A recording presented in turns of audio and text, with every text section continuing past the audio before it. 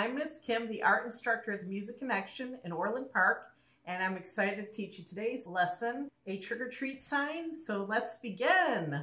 Here I have the sign with a twine um, hanger. I bought it ready-made. Now I don't have another wood sign, but you will do the same thing I'm doing on the mixed media paper as you would on the sign. The only difference is there's a little bit of a dip in here and all I did was just dip down into there with the markers. This is a little darker stained. Um, you might have to add a little more color and let it dry and then add another amount of color like the ghosts. I kind of did a couple layers to get them this color. I would say two or three applications. I have these Fly C is a brand name, acrylic painter, marks on anything, it's water based. And so you just take it off and throw out the plastic and then you open it up and you have to activate the paint by pushing down on the tip like so, and it'll bring the paint out. Here's mixed media pad 11 by 14. This is a little smaller than the sign, but I'm going to show you how to draw the trick or treat in this. You also want to shake your paint in your marker. You can hear it and press it down, like I said, a couple times to activate the paint. I'm going to do the trick or treat this would be just like you would do on the wood, okay? I'm going to start with making the T, and I'm just doing it a little bit on a diagonal. I think it's more interesting. And so I'm doing the word trick up here.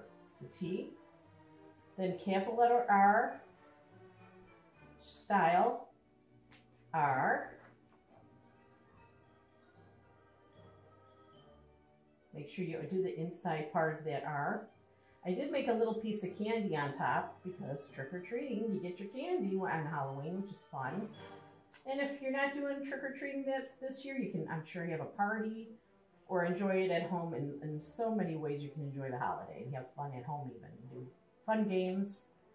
All right, and then a C.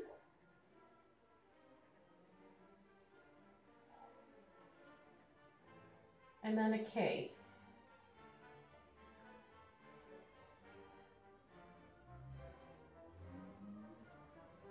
And you could um, pause the video and come back and rewind if you need to do these letters. Then I come down here and right between the R and the I, I put like the O, which is more like a pumpkin shape. So that's what I'm going to go for, like create that pumpkiny look to my O. And I'm going to put a little stem right now, so don't forget, that's our pumpkin, with the O, the circle in center for the O, and then an R on an angle like I did on my wood sign.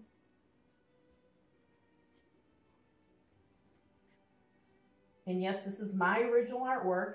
I didn't find this anywhere else. All right, and here's a T. Here's the capital R version of the R.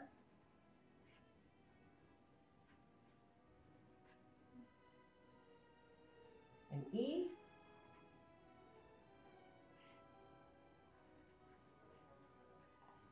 A.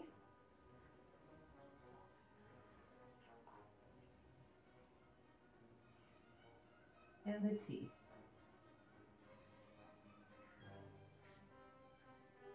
Okay.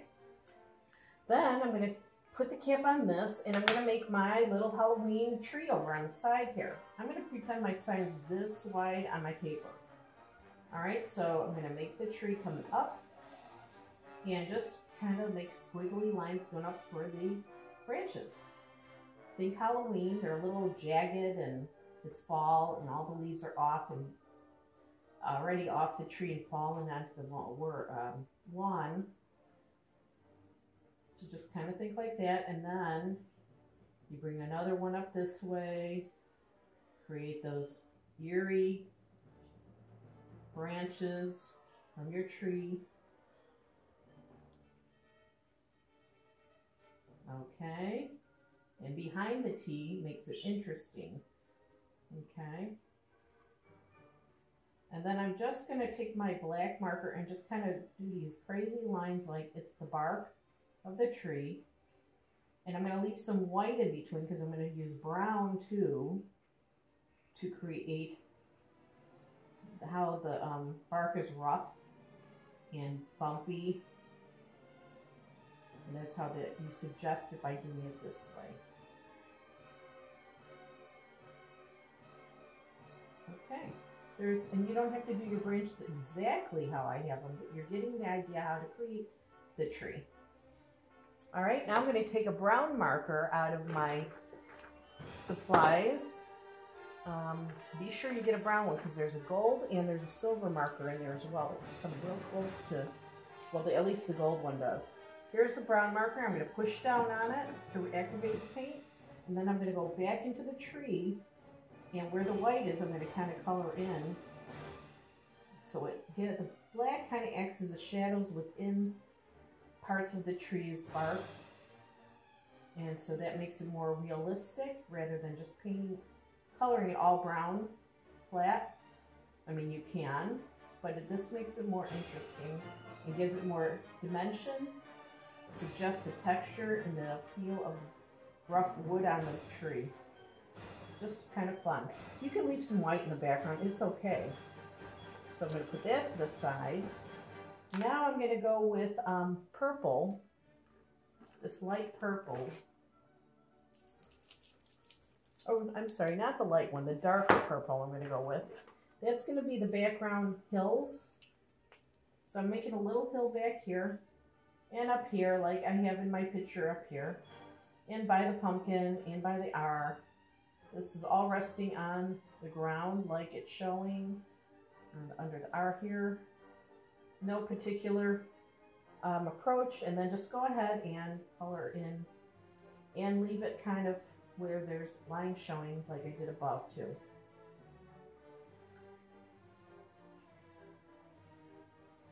And you just do it like this it makes it more eerie and a little jagged. You think Halloween more. Okay.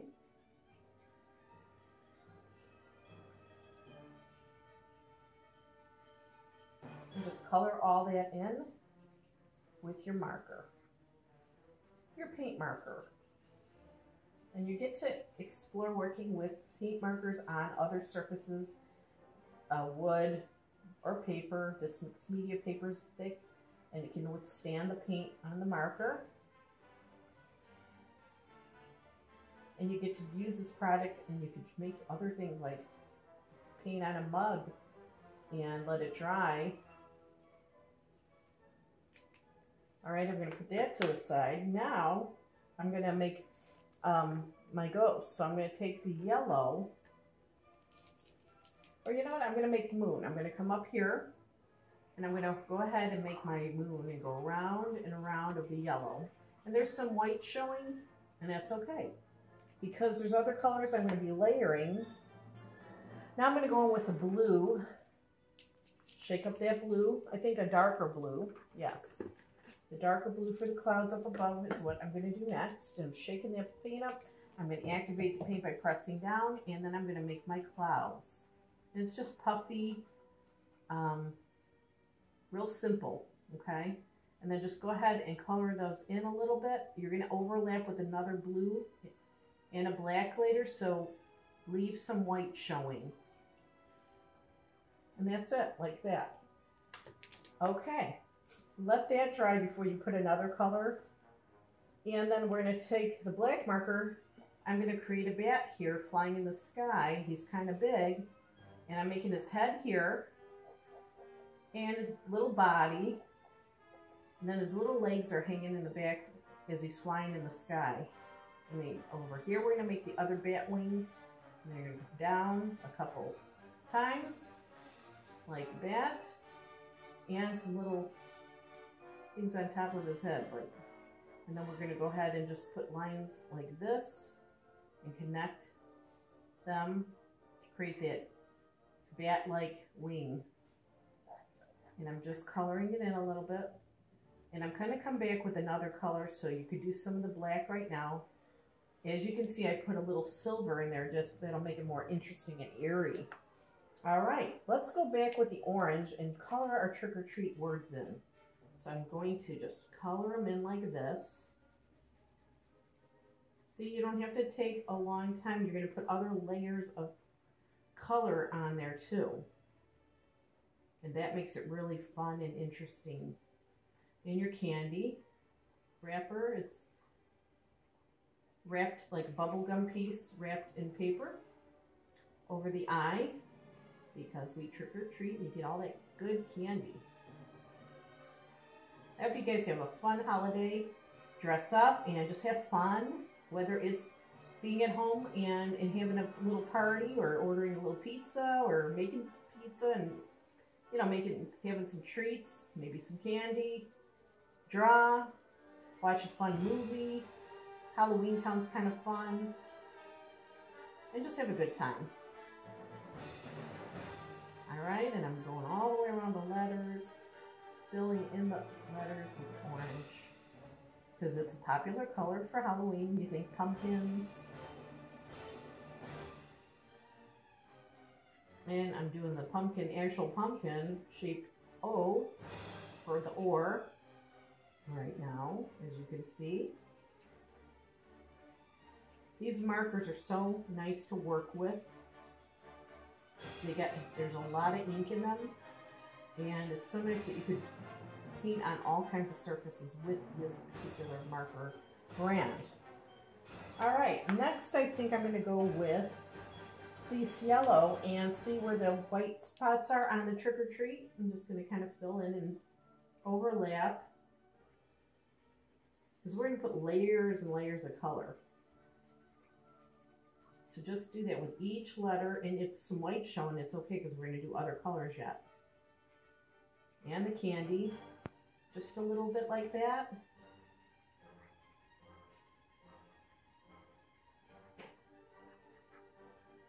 Isn't this fun? And I love that you can use all these fun colors. It makes you think of all the colors of candy wrappers. At least I thought so. And I wanted to make the letters look like they're kind of shaking.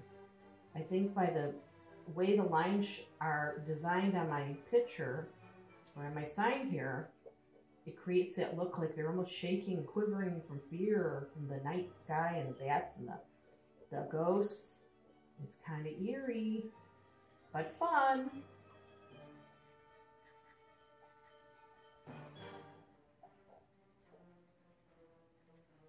Okay, and I'm doing the E. Make sure you leave that open white spot by the E. Don't color it in. And the A now, same thing. Don't color that space. And the T. Okay. Then I'm going to put that marker down, and I think I'm going to go with this lime green is what I use for the ghosts. Shake it up, and it's kind of a, uh, thin, like you can see how it looks here on the paper plate. So I'm going to make it ghost head by making it round. And then make a little arm coming like that. And over here a little arm. And then you're going to pretend to follow it through but not put it by the uh, on top of the tree. And continue with its tail like that.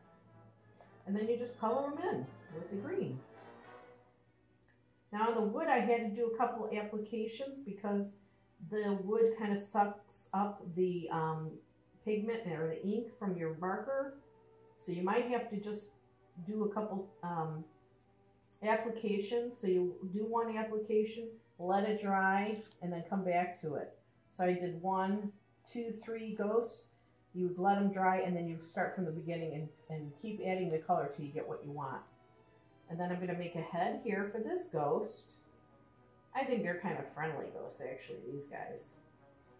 They're just kind of fun, though. They're just trying to be funny and silly. All right, and then I'm making the tail coming through the pumpkin O. And I'm coloring in my ghost. And his little arms. Now I'm going to make one more ghost, and his tail's here right by the R. And his arms are going to come here, his head, and his arm. And it's not exactly like the one up above, and that's okay. As long as we're right in the ballpark. That's all that matters. Okay, and then just color him all in. And then I'm to let those dry. Once they're dry, like I said, if in the wood, if you have to put another application so that the color comes through better. And once you have done that, then you can go in with the black a little later. We're to let that dry for a bit.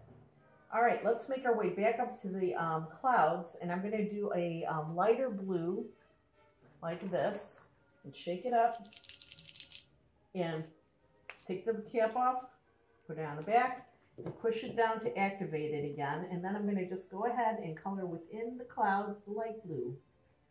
No particular approach, just kind of think clouds and fluffy.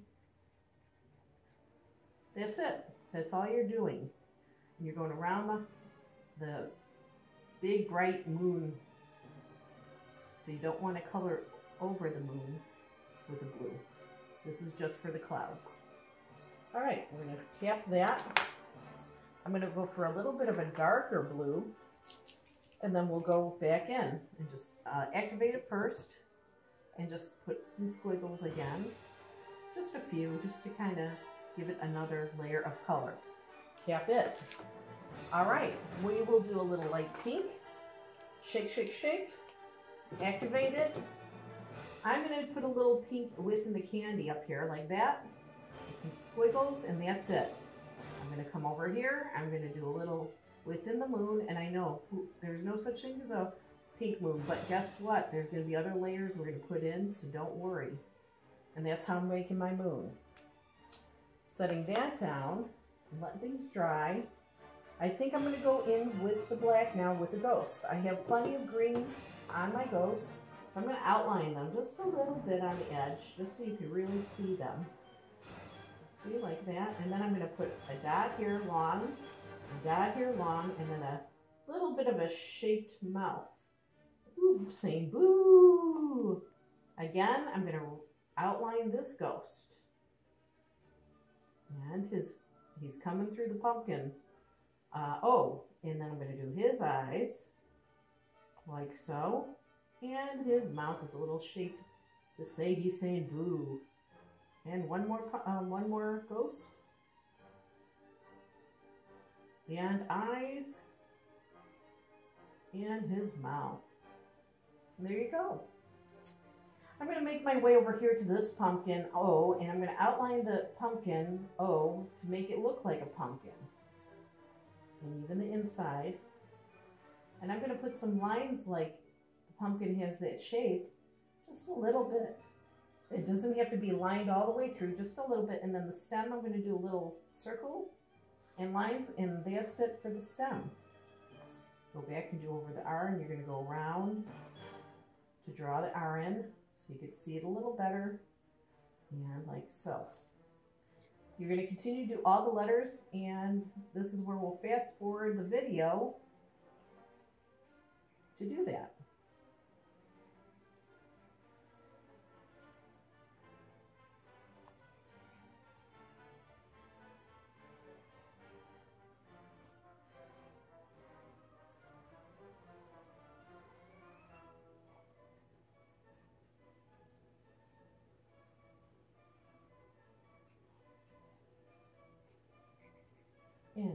And do the T, my treat, A trick, I'm sorry.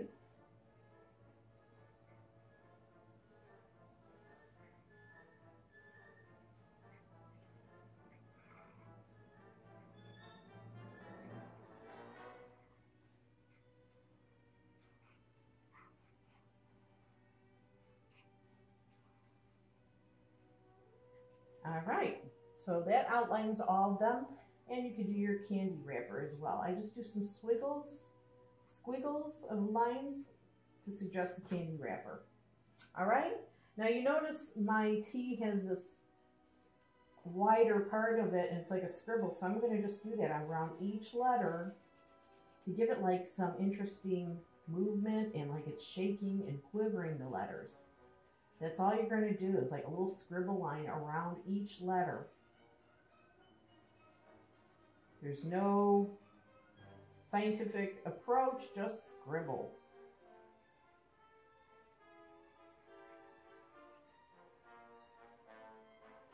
It just brings it out a little more and makes it more interesting and spooky. Adds a little character to it, your letters.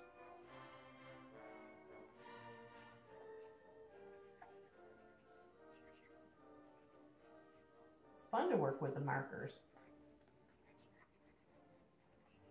And then even the uh, clouds, I'm going to just outline a little bit with the black. And if it goes into the blue, it's okay. And then on this side as well, might have to activate some more ink. I feel like it's drying up a little bit. Oop. There you go. Okay. All right, we're gonna continue, oh, on the O, the pumpkin O, scribble around it. Darken the inside of this O a little bit like that. Scribble around this pumpkin of the O. Now the R. I'm darkening here.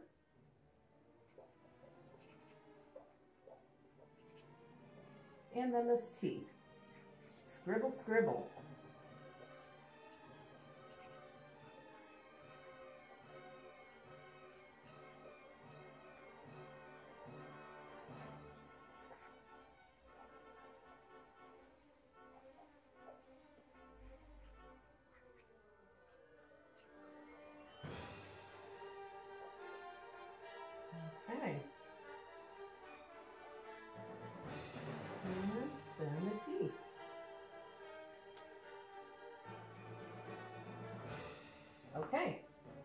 I'm going to cap the black and I'm going to see what other colors I have left in here. All right, so I think I'm going to go with this gray.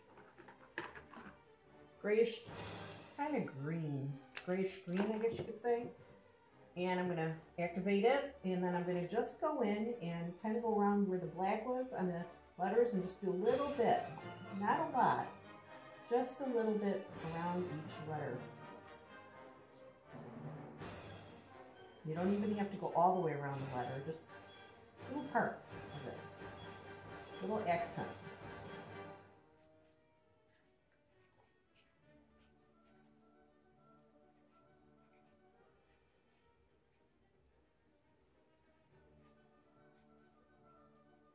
I plan on using all the colors. Then I'm going to go into the bat because he's gray and black. There we go, just to add a little color in there on him. Okay, then I'm going to go into this light lavender color, shake it up, uh, prep it by pushing down, and then I'm going to go ahead and color a little bit into the letters like so. And I'm just making fun little scribbles in there. Follow the shape of the letter and just scribble a little bit, not the whole thing, a little bit in your candy in each letter so it's all unified in your design. It'll all tie in. If you go over the black, it's kind of cool the effect, but don't do too much, just a little. And around your uh, moon,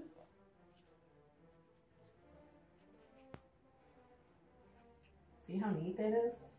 Kind of looks like a graffiti. Like a funky graffiti is what I was thinking while I was designing this. And you're going to do a little light purple within the dark purple here. That'll give another layer of color and interest for the ground. Just a little bit. Not every little white spot needs to be colored. Just kind of go over it. That's all you got to do. All right, let's go for this light blue, green, like a light aqua blue. Prep it, and again, keep doing what I was doing, just scribbling with the letters.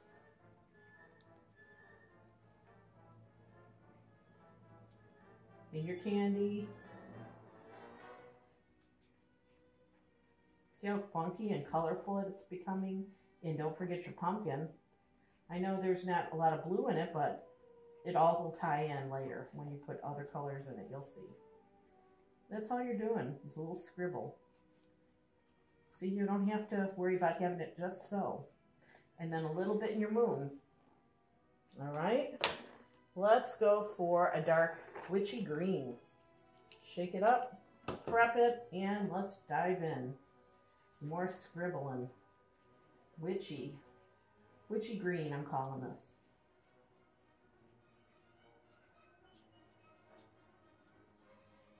I think you'll like this, my pretties.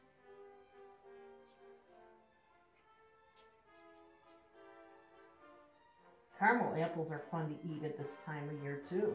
So that can be kind of fun on Halloween if you don't do the trick-or-treating.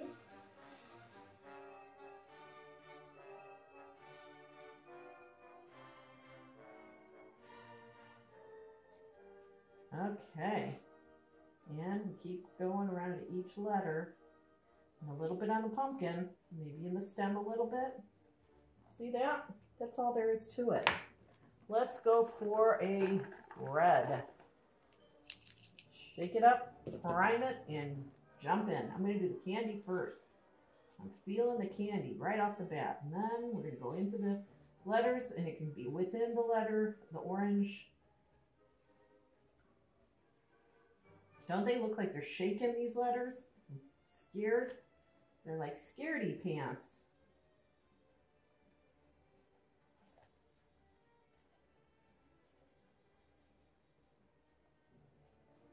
On Halloween, you can make stuff and it's like so forgiving on design and then just a little bit in that moon. We'll go back in with some white and yellow later. All right, how about a light gray? Let's go for that. Prime it. I'm just going to do a little bit of gray. Oh, this is a silver. I'm sorry. It looks like a gray. It is a silver, metallic. So in my image up here, I'm going to start with the clouds. I just did a little bit of hints of it. That's it. Not a lot. And then the bat, I just did the top of the bat, like the moon is lighting him up a little bit. I did a little on each letter just to brighten it up a little. And in between, here I squiggled some here in the letter, inside the letters, if you want, like so. And I just am highlighting a little bit, not a lot. Kind of funky and fun.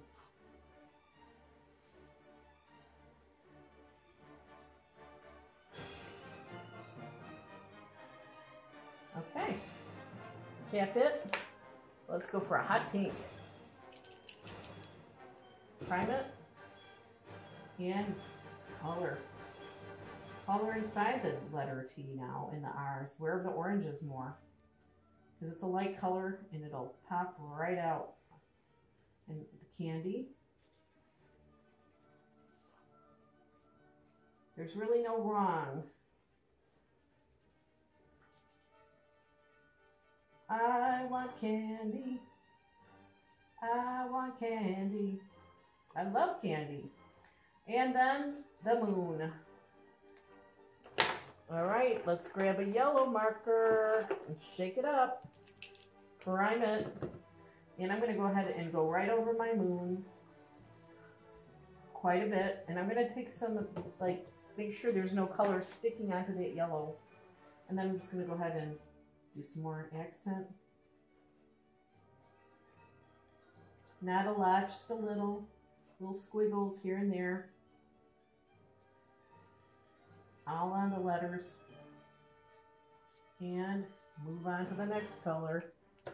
Let's see, we have a few colors left.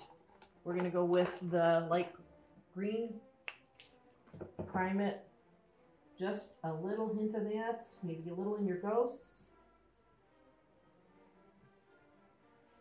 I'm not doing much at all. I'm just putting a little bit of this in. But make sure you get a little bit throughout and then cap it. Let's get this gold and shake it up. It's a metallic gold and little highlights again, not a lot.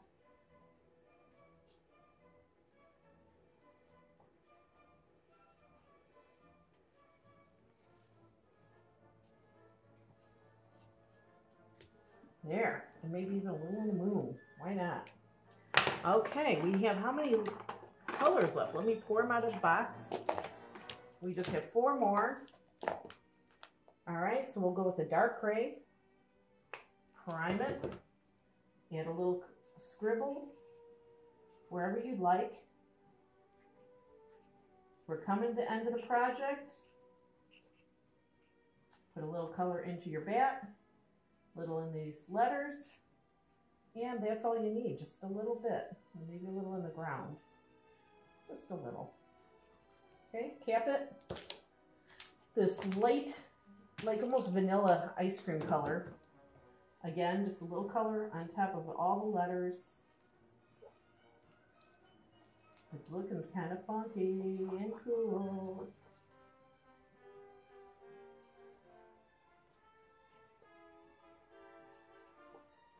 All right, cap it. Let's get this purple.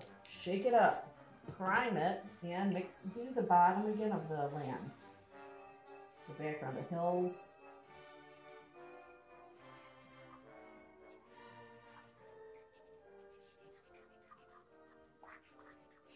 All right. How's that? And maybe just a tiny bit in your letters, just to suggest. And I put little squiggles, like snaky, long squiggles, too, because it makes it kind of interesting, like snakes are around. Okay, and then last but not least, white. Yeah, white. Prime it and put it in the moon. That's more looking like a moon, and then just little highlights throughout your piece, not a lot, little squiggles. Maybe a little on your ghosts on their heads, a little on the bat. And I have just used all the colors in my 24 count box. Voila! It's possible. There they are. What I would suggest, you can look at it, let it dry, and if you want to go back in with any other colors, pick whatever marker and do a little more. But there you have it. I hope you have a wonderful holiday, and this is Miss Kim signing off. Bye for now. Happy Halloween. Trick or treat.